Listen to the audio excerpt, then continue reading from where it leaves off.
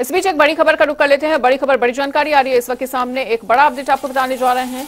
बड़ी खबर, बड़ा अपडेट, जनसंवाद कार्यक्रम में लोगों को एक बड़ी सौगात मिलती हुई नज़र आई है। और आधा दर्जन लोगों की वृद्धा पेंशन, वृद्धावस्था पेंशन का ऐलान किया गया है। जनसंवाद कार्यक्रम में सीएम ने इसको लेकर आदेश भी दे दिया है। मंच से ही लाभार्थियों को सर्टिफिकेट भी सौंपा गया। तो जनसंवाद कार्यक्रम के दौरान सीएम मनोहर लाल ने लोगों को एक बड़ी सौगात दी है। और आधा दर्जन लोगों की बनी है वृद्धावस्था पेंशन। तो जनसंवाद कार्यक्रम में सीएम ने इसको लेकर आदेश दिए।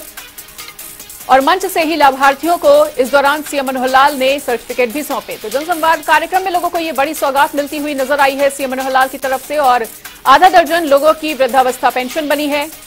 इसको लेकर मंच से ही सीएम मनोहर लाल ने आदेश दिए और मंच से ही लाभार्थियों को सर्टिफिकेट सौंपा है।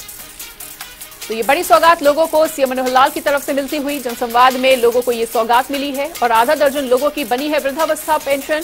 जनसंवाद कार्यक्रम में सीएम ने इसको लेकर आदेश भी दिए और मंच से ही सीएम ने लाभार्थियों को सर्टिफिकेट भी सौंपे।